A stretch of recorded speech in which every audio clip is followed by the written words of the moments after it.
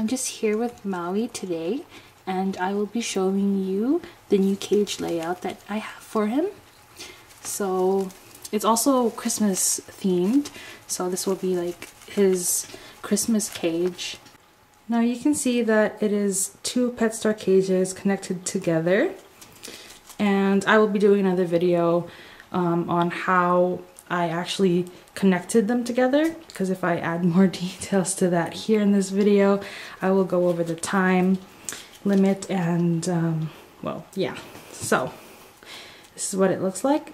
He has his green garland running on top of his cage all the way over there. And the reason why I stopped it like halfway is because I don't want him to get to it since he has a ramp there and he can actually stretch up there and get it so I didn't want that happening and then he's also got some ornaments on his cage if you guys saw my previous haul video for the decorations on Christmas um, or like Christmas things then um, you guys will recognize some of these decorations and then over here we've got some icicle fringes. It's got sparkles on it. It's like cotton material. It's really nice. And then over here, he's just got his level. He has his ramp.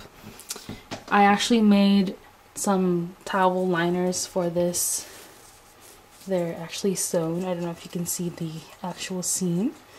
There you go. I made it to size with the ramps and then I also made a liner for this level which is a 2 by one And he's got his fiddlesticks house thingy there and then he's got his bowl of pellets and he's got like a chew. Then I put these stuffed toys here because I don't want him jumping um, from here to there because he tends to do that and I don't want him injuring himself. So he's got another ramp going down here leading to his kitchen area where he's got his hay in the corner and he's enjoying his breakfast right now actually. Hmm. And then he's got his water bottle here. Hmm, there's Mawi. Hey Mawi. Mawi. So cute. Oh, and over here, how could I forget? Their Christmas tree is so cute. Um, so it's like a mini Christmas tree, which uh, is from a my haul video, you guys would know that I was really excited about it.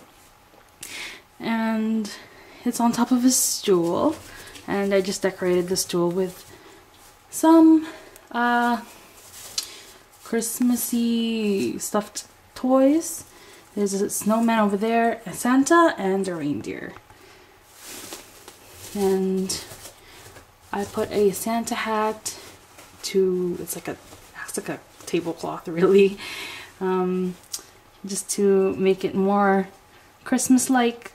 And then my mom bought these lights for me and it's just so cute. And then they've got two stockings that I hung up there. One says Noel and one says I think it says Berry Christmas. Let's see. Yep that says Berry Christmas. So there's these two. And each stocking is for Mawi and Mikos. And then on the wall we have these uh, decorations right here, Christmas trees and a Santa.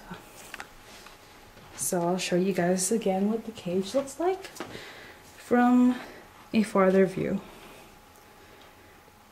So yeah, the cage, now that I've put them together, it's much bigger now and it can actually house three pigs, so guys don't need to worry about the sizing issues because that is taken care of.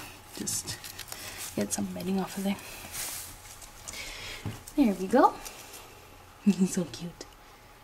So yeah, I'll show you guys Mawi right now for a Mawi close-up. Hey Piggy! Hi!